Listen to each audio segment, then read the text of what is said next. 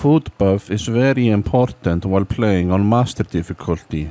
Not only does it give you many improved stats, but it also grants you health regeneration and movement speed. Wow, what a deal.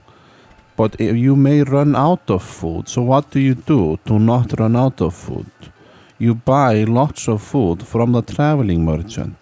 Look at this, I bought two stacks of Pad Thai too allowing me to be very sated from food eating whenever I have to eat food. And that's a good way to stock up on food.